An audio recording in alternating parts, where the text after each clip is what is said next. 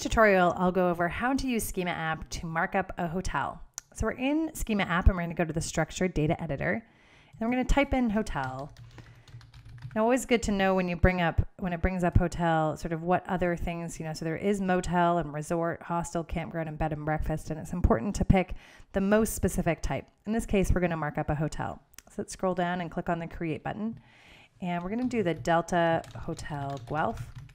And in the URI, you're going to put the URL of the hotel that you're marking up. So in this case, it's here, and we'll click OK. The URI is also the link that Schema app will use to deploy the JSON LD that you're creating. Schema app will now show you all the properties available for a hotel. First, we're going to look at selecting an image. I usually like to pull this directly off the page. Uh, so in this case, it looks like you just have a, a, bit of an ad. Oh, there's a picture there. So copy image address um, and go ahead and paste that in. Now, if you are do want to create an image object, you can do this here, or I'll show you how to use some of the Schema app tools to do that faster. Next, you're going to add the address. So here we can see it's at the top here, 50 Stone Road West, Guelph, Ontario. So we'll add that in.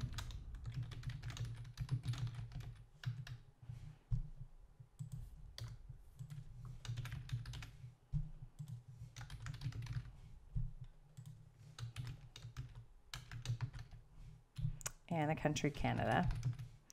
The logo also can be taken from the page. So in this case, it would be the Delta Hotels. We'll copy the image address here and paste that in, selecting the external data item. And really what we're saying here is it's defined elsewhere, but because we're going to turn it into an, an image object, uh, we'll be able to fix that. So next is the description. So Delta Hotel and Conference Center in Guelph. Um, and same as is if the hotel itself has any uh, social media profiles. So you can look to see here if there's anything that kind of calls out their social media profiles. Connect with us on Google Plus so you can see it's here. Um, and so we could just go ahead and you paste the URL. This one is expecting a URL. Next is a contact point. So this is the different contact ways that you can contact the hotel. Think of this as departments. So in a hotel, it might be reservations or customer service would be two separate ones. So we'll create a data item we'll call this one reservations. Now, I do like if there is a page that specifically has the reservation information, um, then you would put that there. In this case, I believe it's all directly on this page. So we'll look here, they have the one phone number, so we'll, we'll capture that. Um, and we'll go ahead and just click OK. So um, the other way to do it is if it's on the page, you can also take the main page you're sending the schema markup to and then do hashtag uh, reservations. And then this will actually deploy the schema markup for the contact point in addition to the hotel. Um, if you have multiple numbers, you can go ahead and create an additional one by clicking on the plus and then creating another data item. What we're going to do is after we've added the basic information, we're going to go back and add additional information to that contact point. Next, um, additional type, if there's a certain thing you want to describe it further about what type of hotel it is, so maybe it's a boutique hotel or a modern hotel, you can use additional type and search for that specific definition in Wikipedia. Aggregate rating is another good one to add. So this is sort of the aggregate rating for the hotel. Again, it needs to be listed on the page. So here you can see it's 4.5 out of 5 based on 88 reviews. So we'll go review value is 4.5 review count is 88, best rating is a 5, worst rating is a 1, and then it's looking for the URL and where that's found. So let's have a look here. Um, so it says read all reviews on this other page. So I'm going to go ahead and, and put the review URL there. Next, I want to call out is amenity feature. So this is specifically for hotels where you're actually saying what are the features at this location. So what we're going to do is we're going to add the first one and we're going to create a data item. Um, and what we're going to do is look on the page again. You'll see me always going back to the hotel page to say, what is it about it? So fitness center is one of the ones that they have here. So we'll call this fitness center. And you can add as many as you want. Um, so here we could put fitness center. Now, if you've done other hotels um, in your markup, uh, you can just type it in. So I have Wi-Fi already in there. Um, in you know in in room uh, safe so you can reuse some of those data items. We'll go in and I'll show you fitness center is important that we're going to say that it's true um, in that it exists.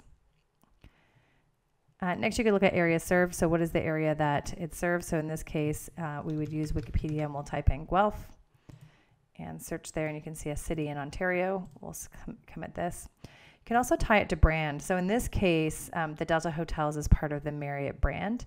Um, so if I'd added the Marriott brand previously, I would actually be able to go ahead and pull that up. If you haven't added it, you can just go ahead and create a data item and call it the Marriott. Um, and then Marriott likely has their own website. So we could just say Marriott Hotels. And I'm going to pull in the Marriott website here to define um, the Marriott. And it's a, a, type of, in this case, it'll be an organization. Um, so we'll click OK. Um, also, you can call out the check-in and checkout time here. So we'll assume that the check-in time is 3 o'clock. So you just can select this and then get rid of the date. Um, and then the checkout time is usually noon. So again, you'd pull that off the page and select those appropriate times. Contained in place and contains place. Um, so here you can actually call out if there's hotel rooms that you've defined, you can call those out, contains place, and then the different types of rooms. Um, so if we have, I think I have some in here. So traditional guest room, um, or if maybe it's a deluxe, uh, deluxe room. So the different rooms that hotel rooms that you're adding, you can then add here for contains place. Um, and then you might also add the email, the fax number, um, the geo, the map, um, as well as uh, opening hour specifications. And some of these you can follow the best practices in our ultimate guide uh, for doing local business markup. Um, two that you want to make sure that you have in here is the URL. So let's go ahead back here and we want to make sure we've pulled in that URL. And then what we can do is just have a look on the page to see, you know, is there anything else? So here's the room. So we'd want to contains place. We want to call out those hotel rooms. You can follow our, our hotel room uh, tutorial for this. You want to again call out those different amenities that are listed. Um, and we have the reviews and then we have the photos. So you can see that we have the majority of the information that's listed there. So what we're going to do is click on Save Changes.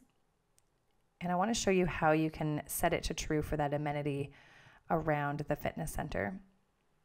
So let's go here to the fitness center. And now it's going to open up this location feature specification and we're going to edit it. And the only thing you need to change here is the value is we're going to change to true and then click on save changes. Then we're going to go back to the Delta Hotel Guelph. And the other one we wanted to, to finish doing is, is around the, the, um, the contact point, so reservations. So the contact point is really where you put in the contact information for the location. So here we're going to say it's sales because it's reservations. Um, and there was a phone number here, which was 519 780 3700. There we go. So we're going to add that in. Um, and then the contact option, if it has hearing impaired support or toll free, you would you to select that there. And then the language is spoken at the location. So we're going to say English It's in Canada, so they might also have French or they might have other language speakers, so you'd want to make sure you include that. And then again, the area served, um, so we're going to specifically call out Guelph since that's the city that it's located in and that it serves. All right, so we're going to click on save. And so now we've added the majority of the Delta Hotel. Again, you can connect it with those hotel rooms. Um, always go back to what is listed on the page and then what you want to call out. Um, so here it does, you could add the geo for it, um, and then uh, it might also have the, I believe it had a link to the map. So you could, there it is, map. So you could link it also to the hasMap.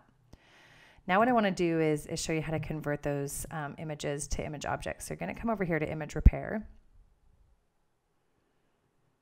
And you'll see here we're going to set up these two images. So we've gone ahead and done that. Um, and now we're done.